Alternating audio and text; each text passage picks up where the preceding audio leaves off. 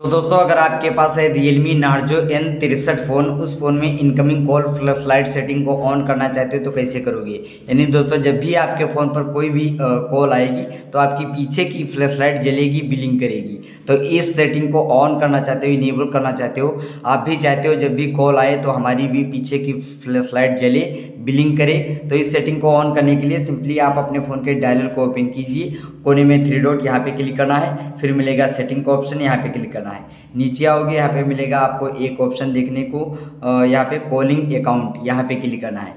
फिर दोस्तों, यहाँ पे मिलेगा मोर सेटिंग यहाँ पे क्लिक करना है और यहाँ पे दोस्तों मिलेगा फ्लैश ऑन कॉल ये दोस्तों बंद होगा सिंपली आपको इसे ऑन करना है। जैसे ऑन कर लोगे, जब भी दोस्तों आपके फ़ोन पर कोई भी कॉल आएगी तो आपकी पीछे की फ्लैश लाइट जलेगी बिलिंग करेगी। वीडियो पसंद आए तो वीडियो को लाइक चैनल को सब्सक्राइब करना ना भूलें।